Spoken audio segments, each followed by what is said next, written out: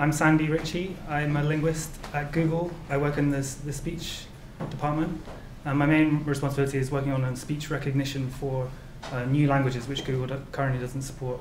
So a lot of my job is uh, finding out, you know, very basic things about the phonology, certain things about the writing system, um, how they say things like numbers, um, in order to create V0 speech recognition systems for, for new languages.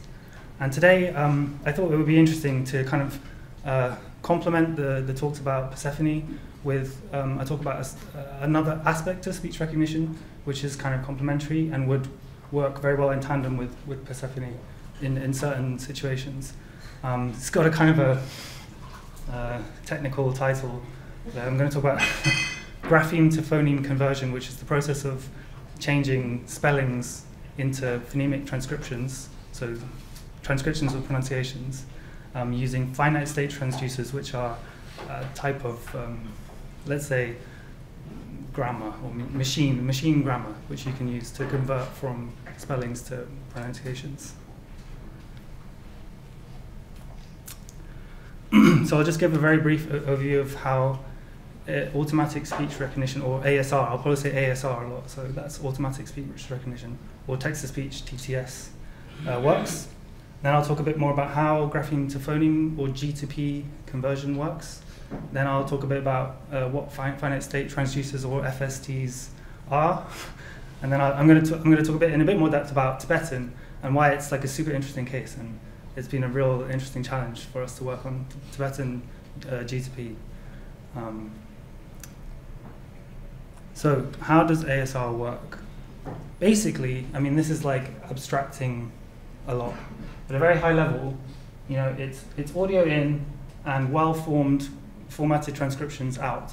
And in most uh, state-of-the-art ASR systems, you have three uh, subparts, three subcomponents of, of, of the system. It doesn't match. The text doesn't match the audio. oh, you can read uh, waveforms, can you? I have no idea. I just found it on the internet.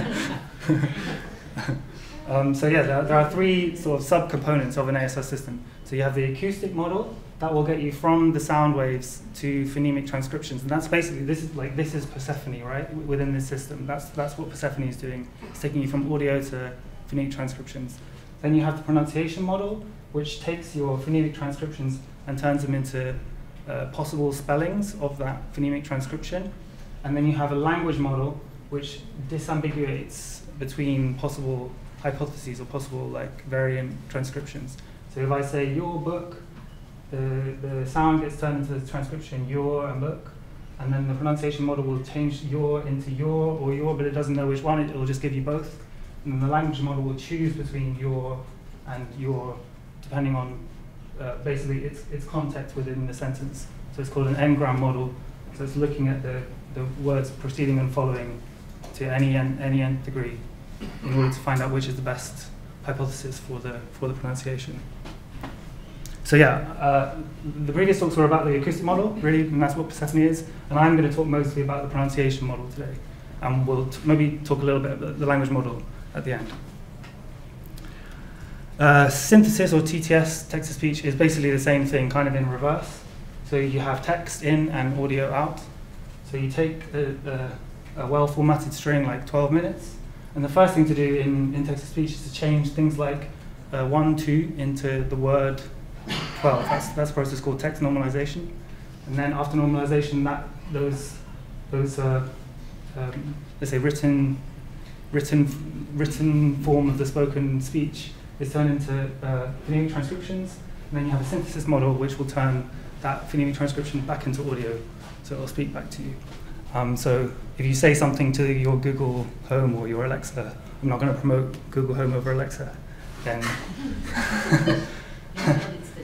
you, you, can say, well, set my alarm, and then some NLU, NLP magic happens in the middle, which I don't really know about, and then it will say, I've set your alarm. Okay, so the pronunciation model in particular, it's generally in most uh, production systems made up of two components, a lexicon and a grapheme to phoneme model, or a G2P. So the lexicon is very, very high quality, hand curated phonemic transcriptions of spelled words in the language. So these are made by linguistic experts who have training in transcription of, of phonemic transcription, and they will produce really, really good quality uh, transcriptions for words like this, which is pronounced kernel. You wouldn't guess it from the spelling, and that's why we need a lexicon, because it is almost impossible to guess that that word is spelled, is pronounced uh, kernel from, from the spelling. Um, the, the, the, the, the pros of a lexicon are that it's really high quality and it's very reliable. You can almost certainly rely on it to get the pronunciation right. The cons is, that it's static, so uh, new words, neologisms, slang, non-standard words are not included usually in the lexicon, and it's extremely expensive because you have to pay linguistic. People have linguistic training to hand transcribe every single word. Um, so to complement the lexicon, we also have another component called a, a G2P, or grapheme to phoneme converter, and that is basically uh, a rule-based or machine learned model which will learn or learn how to produce uh, pronunciations or phonemic transcriptions for words that aren't in the lexicon. So I don't know if anyone knows this word. I found it on the internet. Anyone?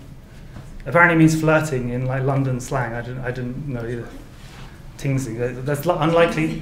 It's unlikely to be in the lexicon, right? It's, it's the kind of thing that someone would say, and then where the lexicon falls down and doesn't have an entry for that word, the G2P will kick in, take over, and try to produce some kind of useful uh, phonemic transcription for the spelling. So the pros of the G2P are that it's very dynamic. It can it can produce a pronunciation for any word. It's quite cheap, um, but it's unpredictable, and the results are let's say variable, and depending on the script, it can be, you know, really really bad. So really, like in a in a in a production system, you need you need both, and they work they kind of work in tandem together. So the lexicon and the G2P they complement each other. Where the lexicon falls down, the G2P takes over, and, and vice versa.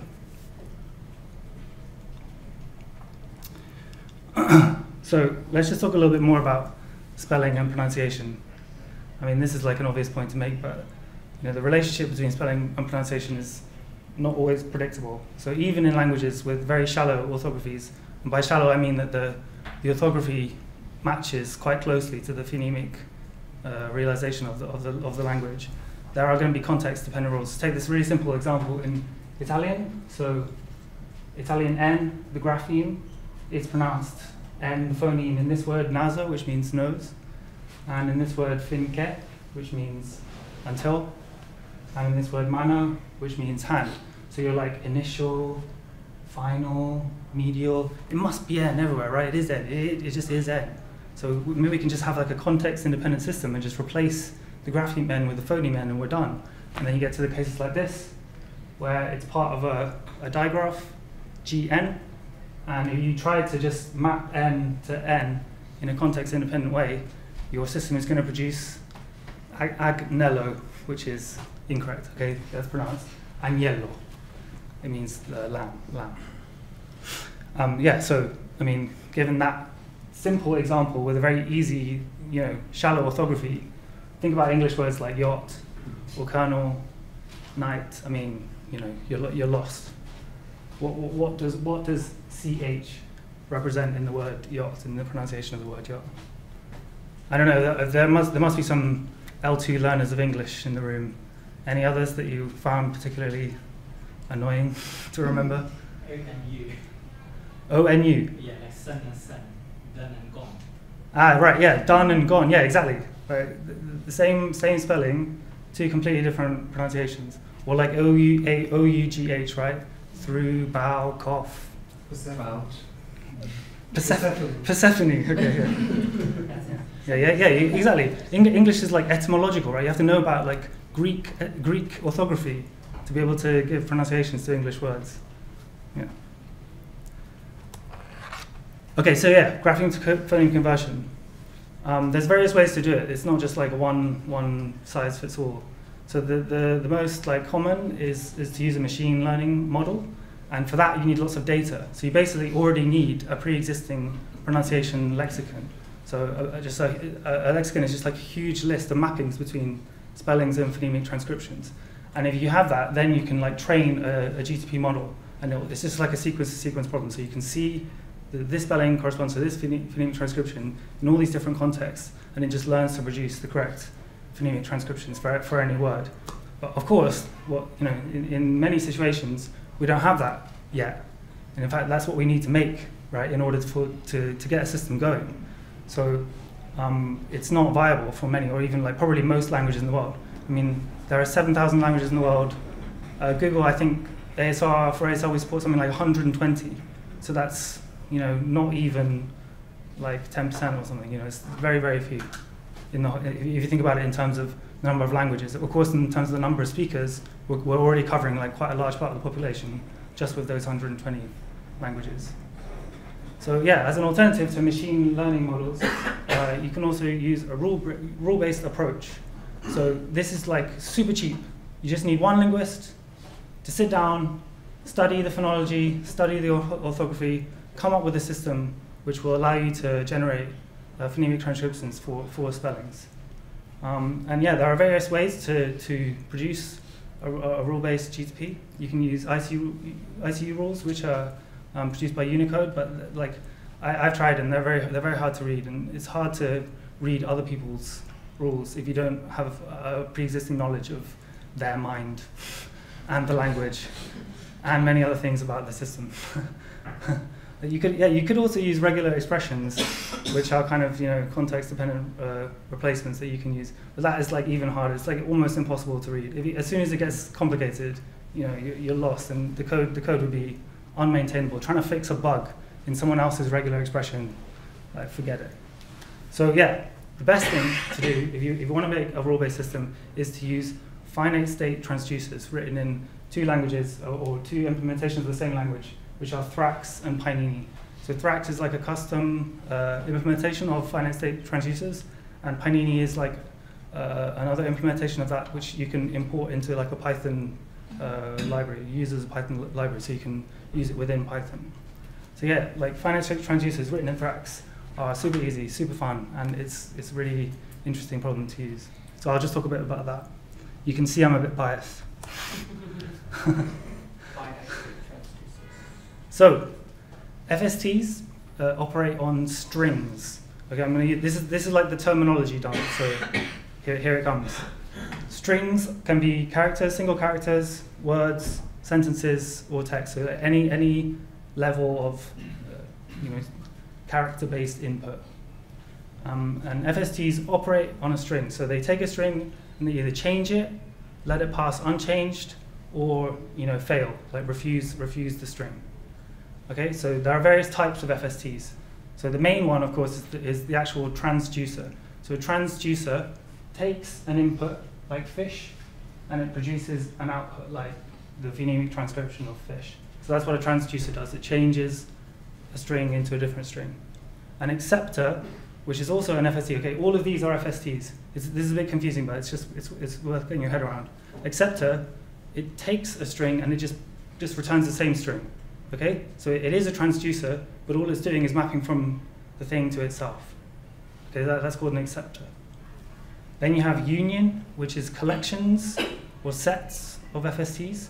So you can say something like it's like or, right? So fish or eggs. That, that, that's an FST. So it's like a union of two things together. And then there's concatenation, which is uh, strings like appended to other strings. So it's like a bit like and. So you have fish, and then the suffix y.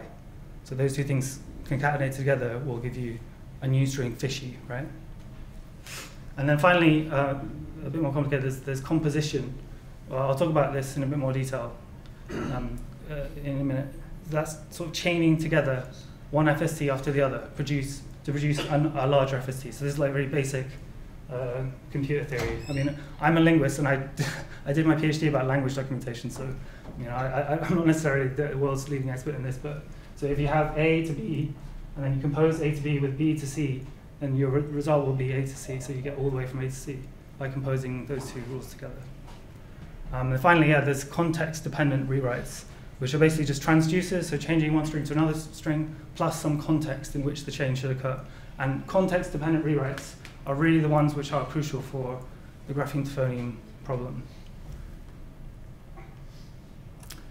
Okay, so here's a context-dependent rule written in Thrax. So, okay, forget kernel, forget yacht. We're, ne- we're never going to get there. Like, it's just not going to work. You just have you have to enter those in the lexicon. There's no G2P rule that you can write which will allow you to produce the pronunciation for that spelling. But for a word like night, okay, let's let's like think about what, what we can do. Right? It is possible to get from the spelling K N I G H T to the pronoun- to the phonemic transcription N A I T. Okay, that's what that's what we're after. Okay, so first of all, we need to deal with the the silent K. Okay. So in a CD rewrite, this is the definition of a CD rewrite. You have a transducer, so we're going to rewrite KN, the string, to N on its own, and we're going to give it a preceding context and a following context and a field within its searching. Okay. And in this case, our preceding context is the beginning of the string, so we know that it happens only at the beginning of the word, and you'll see why that's important in a minute. And then the following context is always going to be a vowel, okay? So you can't have K, N, and another consonant. Okay, these, th- these are really like, I mean, this, is- this is shorthand, but these are like acceptors of the beginning of the string and any English vowel grapheme, okay? So A, E, I, O, U. and then this one, which is a bit, which is a bit like confusingly named, that's just, that's just a convention. It just means like any Unicode character or a space. So it's like the field in which you're searching or like looking to do this to do this transaction. So any character that you like can can be accepted by this rule, um, and and will put. So any string will be allowed to pass through in any language, in any script, in any writing system. Okay, so with this rule, we can get we can now get to n i g h t, but we're not quite there yet because we need another rule for the the, the bit in the middle. So we have a second rule, which is another CD rewrite, and it's basically going to rewrite IGH to AI for the phonemic transcription night. And the left context in this case is a consonant, and the right context in this case is a, is a union of a consonant or the end of the string. Okay? So it can either be a consonant on the right or the end of the string, the end of the word. And again, we have the same search field, any Unicode character. And now, with, tho- with just those two rules, you can take this string. Okay, so, so yeah, this is, a bit, this is a bit confusing, but a string is an FST, which is an acceptor of itself. So this is an FST, and it, takes its spelling in, and it just gives you the spelling back out. Okay, then you compose that FST with the rewrite KN rule. So that's an FST. This is an FST, this is an FST, and now this is an FST, so A to B. And then you take that FST and you compose it with the IGH rule. So now you've got A to B to C, so A to C, and this whole thing is an FST, and it will spit out, hopefully, the correct output, the, the phonemic transcription night. So we've got, with just two rules from the spelling, which is nothing like the pronunciation, to the correct pronunciation. Okay? And what's really crucial and important to remember is that you can apply these rules, hopefully, to any English word, and they will always produce the correct phonemic transcription if those sequences are in there. And it won't misproduce bad transcriptions. Okay, so take an example like breakneck. I'll just give you a minute. If you want, if you want to write it down, okay, look at breakneck and think about using this rule. Why breakneck won't be changed by this rule? You can shout it out. The KN doesn't appear at the beginning of the word. Exactly. Okay. So it's in it's it's string medial. Okay. It's not at the beginning of the string. So if you if you pass breakneck to the rewrite kn rule, it's just going to pass it unchanged. Okay. So we're not inappropriately rewriting this thing, which is actually a coda and uh, an onset on an onset, into a, just just an onset. And, it, and exactly the same way if you pass a string like pig-headed, which I spent a long time looking for. what, what, what's, what's wrong with this? Wh- wh- Why, why won't the IGH rule change pig-headed? Because okay, it's got a, it's got a consonant on the left, so there's some correct context, but on the right, It's not the end of the string. Okay, it's yeah, exactly. There's a, there's a vowel. It's not the consonant. It's not the end of the string. So again, it's just going to pass through unchanged. So you know this this works. This little toy FST it works beautifully. There's no there's no problems, no exceptions. Can anyone think of any exceptions? I, I couldn't. Are there are there any exceptions to this in English orthography? I was trying to think about it. You know, like so I, I added end of the string here because you might have like a thigh, right? Thigh. IGH, and then the end of the string. So it's not necessarily a consonant following, it could be the end of the string. But I don't think there's any other problems with it. I mean, it's just a toy example. We don't actually use G2P for English. it would be terrible. yeah, so FSTs for G2P, so finite state transducers for grapheme to phoneme conversion. The pros are that it's deterministic, so it's always, like I said, it's always going to get it right. There's never going to be any exceptions.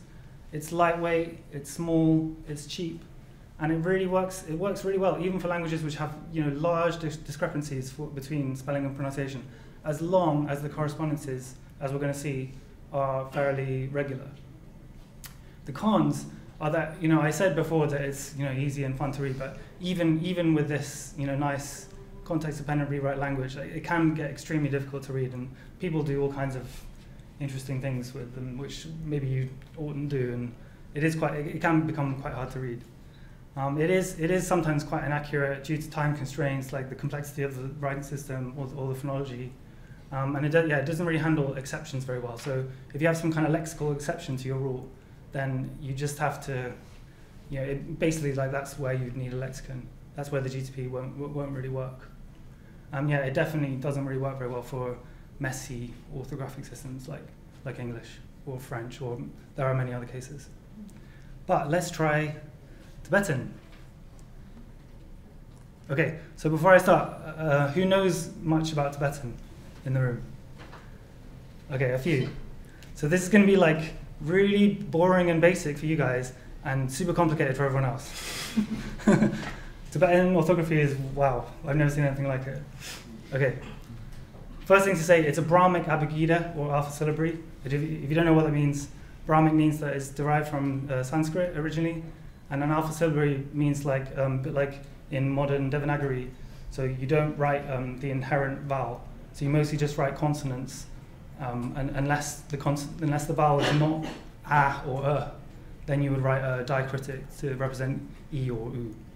So it's mostly like consonants and an inherent vowel. Um, the current standard for Tibetan emerged in the 9th century and has not uh, changed since then, barely at all. Correct me if I'm wrong.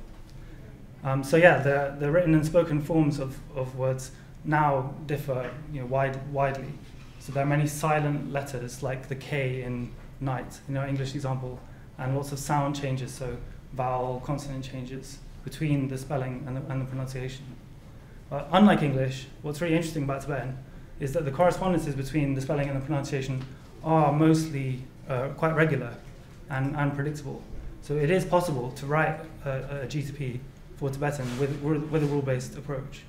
I mean, I'm not recommending it, you know, as the optimal solution. Probably it's better to just pay or find a lexicon or pay people to, to write pronunciations, but this is, this is what we can do, you know, in, in, a, in a low resource situation. So it's good, it's good to sort of think about this, even in a complicated case.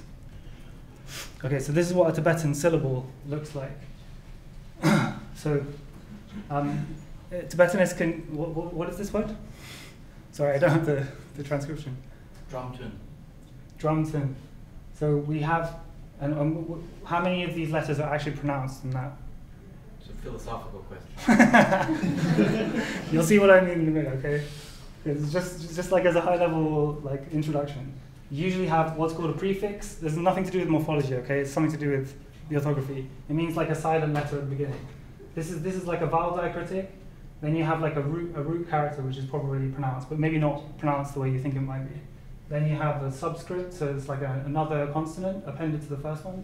Then you can have a suffix, okay? And then a secondary suffix, so that's a, that's a syllable. And usually the prefix and the suffix and the secondary suffix are not, not pronounced, so they're all silent.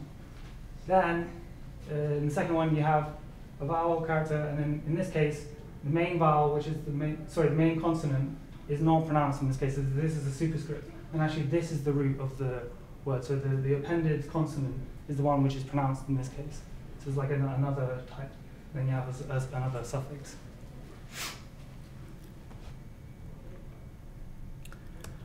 Okay, so yeah, as I said, inherent, like, I'm just going to go through like a few problems in, in Tibetan G2P, just to sort of illustrate the, the complexity of the problem.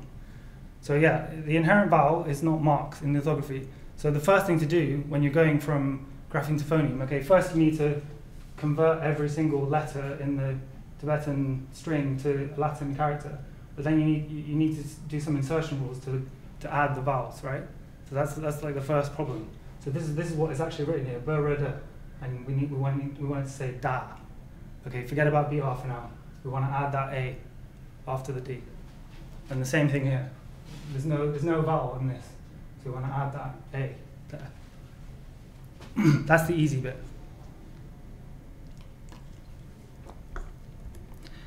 Okay, there's special rules for this initial DB sequence. So if you have DB at the beginning, uh, it can be, so the D is not pronounced, and then the, the B can be lenited to W, or uh, just it altogether. So this, this one is DBUS, and it's pronounced U. So no D, no B, no S, just U. And the vowel is not even the same as the vowel in the orthography.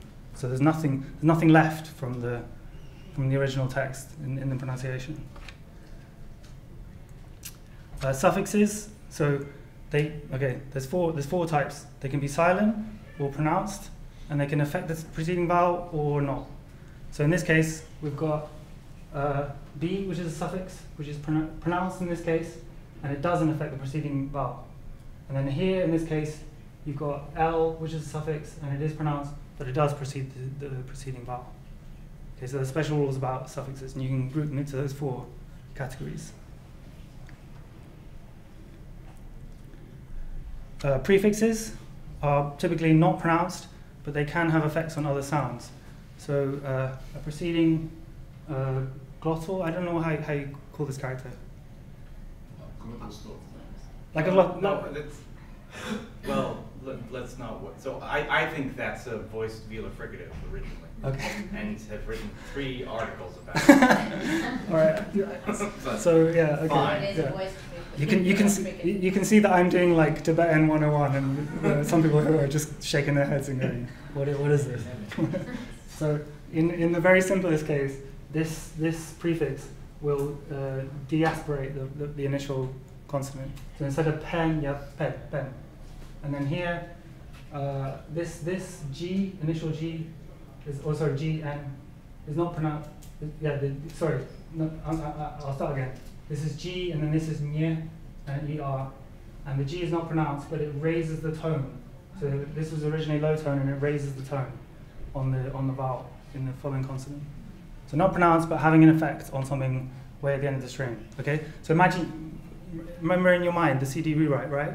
How are you gonna, how are you gonna do that? How do you jump over all the other letters and make sure that that, that tone is raised? But you can. It's perfectly possible to do this with FSTs. Another interesting thing about Tibetan is uh, called consonant stacking. So um, you can stack up to three uh, consonant graphemes, one on top of the other. So this stack is s, p, y, and then e. And I, that, that's right, right? So the e is pronounced after the, the consonant stack, even though it, it occurs on top of it. Don't ask me. Um, here's, that, here's that stack in action. So in this word, um, so the, the, the subscript in this case, which is, help me out, the Y. the ya, the, the ya, the ya at the bottom. Yeah. Okay, it will be, it will change the, prece- the, the preceding sound from P to ch. Okay, I don't even know what to say about this. There's no, there's no rule. You, you can't call this like affrication or something. So, I mean, what does P have to do with ch? Anyway. here, here you go from like k, r to, to t, r because, because of the, the, the, the subscript, right? Am I right? I hope I'm getting this right. and then here, yeah, this is, this is my favorite. So z, l, so z, with, an L subscript is pronounced d. That's what goes on in Tibetan. That's what, that, that is what's happening in an illiterate Tibetan, a literate Tibetan person's mind when they see the sequence zilla, they go, oh yes, duh. That's how it is. Superscripts, uh, a bit like prefixes. So superscripts R and S and L, they raise the tone of vowels following the nasals, but they're generally not pronounced. So this stack, uh, oh, so, yeah, so here the, the superscript S, it raises the tone of the following nasal. it raises the tone of the vowel following a nasal. So if you have s and then a, a nasal, the tone from, will go from low to high. And in this special case, which is the only one, I think, uh, uniquely in this case, this stack, subaya, is pronounced j. So from subaying, you get jang, jang, jang. Uh, finally, yeah, tone. Tone is not overtly marked in orthography at all. So there's no like you know overt marking of tone. There's no, there's nothing in the orthography we can use to to predict tone, like a you know an acute accent or a grave accent in the Latin script system. But we can work out how to insert it in a rule-based manner. So basically, uh, Tibetan consonants are traditionally grouped into four columns based on their manner of articulation. So if you have a, a vowel following a column one or column two consonant, it will generally have a low tone, whereas three and four vowels following three and four consonants, they generally have a high tone. But you, if you remember, those tones can also be changed by uh, prefixes and, and superscripts. So yeah, I mean, all, the, all that was just to say, you know, this is like an extremely complex case of, of, uh, of a, the difference between an orthography and a, and, a, and a phonemic transcription. But like even in this case, it's perfectly possible to, to get all the way from graphemes to phonemes just, just with a rule-based system. Um, I'm, I, like, I, we're already relying on like a lot of work which has been done uh, for the Tibetan script by the Unicode people and various others. So for example, this stack thing. So um, this is I, S, P, Y, like, you know, from top to bottom, but it's rendered already in Unicode as S, P, I, S, P, Y, I. So the vowel is put following the, the consonants. Um, so yeah, the, the, the, real key to G2P for Tibetan is to, to classify the graphemes. So like the first pass is just to say, is it independent or, or dependent? So is it appended to another uh, character or is it an independent character? And then like comes the linguistic knowledge. So is it a consonant or a vowel? Is it a prefix or a root? Is it a suffix? Is it a subscript, a superscript? And then you have many, many, many context-dependent rewrites to, to, to, deal with all these kind of uh, sound changes, vowel changes, consonant changes. So here's just like a kind of this is this isn't like this is like a very very simplified abstracted version, but this is what's going on. So each you can imagine that each of these is an FST, a bit like a context dependent rewrite. So you pass this string B S G R U B S to this rule, and then it will tag all the letters for their status. So from this string, we get like, okay, this one's a prefix, this one's a, a superscript, that's the root, that's the subscript. And we, so then we know like what the what the class of each of each character is. Then you just change all the characters to the Latin script. That's like the first thing the first thing to do to get from get to get to the phonemic transcription. Then you want to remove all the silent letters, change the quality of the plosive from G to D, and then remove all the tags, add the final devoicing, and then add the tone marker because we know that it's, it's column three. So you know each of these is an FST, and if you just chain them all together, then you get all the way from graphemes to phonemes. So it's, what's very important to remember is that if you apply these rules to any Tibetan word, it will hopefully, this and many other rules, it will hopefully produce something like a accurate pronunciation for the, for the word. So, to summarize, uh, I talked a bit about how G2Ps fit within pronunciation models specifically and ASR and TTS systems more generally. Uh, I talked about how G2P can be achieved in a rule-based way for languages which have a systematic correspondence between the graphemes and the phonemes, or the spelling and the pronunciation. I talked a bit about how you can write uh, G2P rules in Thrax, and then we looked at the issues in Tibetan orthography and uh, gave a simple G2P example for Tibetan. Um, so yeah, if you're interested, you can do this in your own time main. Maybe it would be interesting to try and write a context-dependent rule for Tibetan or any other language that you're interested in. And I guess, like, yeah, I did want to say that in the context of this discussion, I guess what this would be really useful for is that if you can create this FST for your language that you're working on in, in your documentation project, then you don't necessarily need to produce uh, phonemic transcriptions for your, for your one-hour recording all you need to do is to get someone who knows the orthography to transcribe it orthographically. Um, and then you probably need to do some kind of normalization on that text in order to get it into a state where the G2P will pass all the words. but then you just chuck, chuck that text into the G2P and it will produce all the phonemic transcriptions for you. So this is good in some contexts where maybe you have like lots and lots of recordings and all you have is the orthographic transcription done by a native speaker and there's no analysis. Then use, you can use that data or you can use like the transcriptions produced by your G2P for, for that data and like throw them into your model. And that'll probably make your acoustic model like a lot better if you have like lots of lots of data like that. So that's like a real important use case for this this aspect of it. Um, just a couple of resources. If you want to know more about FSTs, go to openfst.org. That's that's where you can find all the downloads, the resources for uh, producing Thrax and Pynini rewrites. And uh, yeah, I, I found this website really useful when I was looking at Tibetan. So if you're interested, you can go there. Um, I'll say, tuk, tuk, che, che.